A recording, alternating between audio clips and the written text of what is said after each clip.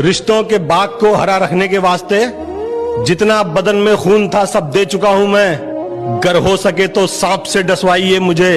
इंसान के जहर का तो मज़ा ले चुका हूँ मैं।